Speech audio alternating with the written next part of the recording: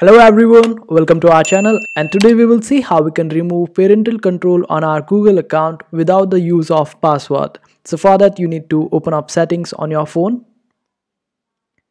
and then scroll down and search for this option called apps. Here click on manage apps. Then search for Google Play Store over here